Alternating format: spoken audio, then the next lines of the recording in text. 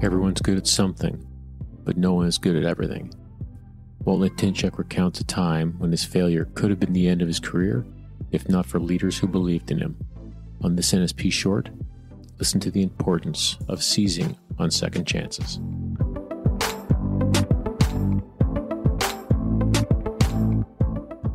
Difficulty, unfortunately, was academic. It wasn't. It was not uh, from a leadership standpoint. It wasn't from um, you know uh, an, an athletic standpoint. It was academics. And so at the time I came out of Manitoba, we didn't take any calculus at all. And going into military college, and at the time, when I found out that I wasn't um, uh, eligible to be uh, in the Air Force as a pilot, they put me into land ordnance engineering. At the time, it was called LORI. Now it's electrical mechanical engineering, uh, or REME now. Uh, but at the time, I was going to be a mechanical engineer. And and calculus and and you know mathematics as well as uh, physics and chemistry kind of important. and and uh, unfortunately, I was missing one of the key uh, uh, factors there. I was missing the whole calculus program, and so and then the other challenge is as soon as I got to Royal Roads. Uh, they didn't have a football program, but they have a rugby program, and they realized I was a football player coming out of Manitoba I got drafted on the rugby team. And here we are in a very intense recruit period where you really don't have a moment to yourself and you're using every bit of energy you have in order to maintain the standards, um, you know, do all the physical activity. I was also on the varsity rugby team. And then they realized that because of my size, I should also be on the varsity tug of war team. So here I was, a recruit and a first year cadet, or subsequently a first year cadet on both the varsity um, rugby team and the varsity tug of war team. So five days a week on the varsity team and weekends. Uh, and I don't have calculus. Academically at Christmas, I bombed. I bombed. It was my first academic failure ever and it was like, hmm, this isn't going well. But athletically, it was going well, and leadership wise, it was going well.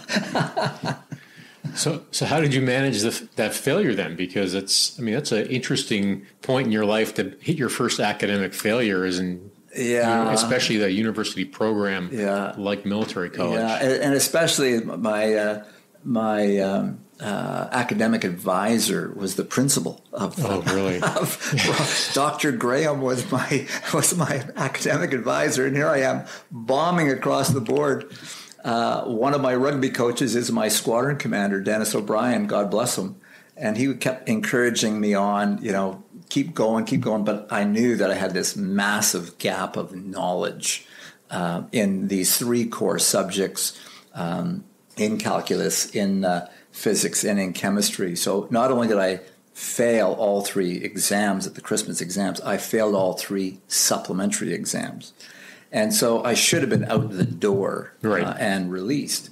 Um, this is where I learned a lot about compassion and, and, uh, and understanding of, of people's circumstances due to, I believe, the leadership of Dr. Graham from an academic standpoint and uh, the squadron commander, uh, Captain Dennis O'Brien uh, they kept me on uh, for about six weeks as they worked with National Defense Headquarters and the personnel folks to figure out what to do with me. And at the time, I was strongly contemplating just joining the Royal Canadian Mounted Police and starting, okay. starting a second career, absolutely. Uh, but the, the guidance I got from my squadron commander, Dennis O'Brien, he said, you know, uh, just for the time being, spend your time at the library and keep studying whatever you want to study uh, and keep playing rugby more, he played rugby. More importantly, uh, Royal Roads was very rugby focused. At one point, when I blew my knee out playing rugby on AstroTurf at the U.S. Uh, Air Force Academy in Colorado Springs, uh, after I came out of hospital with my knee, I received this medical uh, shit, this med- medical instruction from the doc, which said, "No drill, no running, uh, no PT, rugby only." I should have kept that shit, but I, I, would show that shit. Anyway, I think my rugby coach had a chat with the doc. Anyway, um, after six weeks, uh, National Defense Headquarters gave me the option of going from uh, engineering into uh, arts, uh, and from a classification standpoint, going from land ordnance engineering to any one of the combat arms. And so when my squadron commander asked me about this, I said, you know, my dad was a tanker. If the Armor Corps is good enough for my dad, it's good enough for me.